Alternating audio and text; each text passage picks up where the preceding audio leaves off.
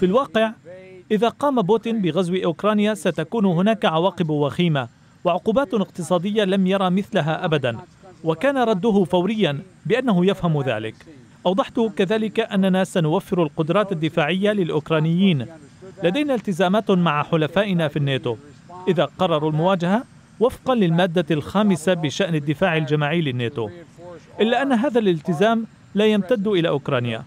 بل يعتمد ذلك على ما ترغب به بقية الدول الأعضاء في الناتو. أما إرسال قوات أمريكية للدفاع عن أوكرانيا ضد روسيا فليس مطروحا.